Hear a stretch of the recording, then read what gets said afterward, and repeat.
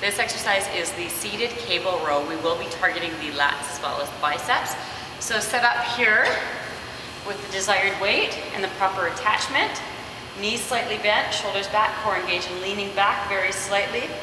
Rowing the bar in towards the rib cage, holding, squeezing the shoulder blades together, and retracting back, ensuring not to move back with the arms. Spine stays in neutral position. Movements are controlled.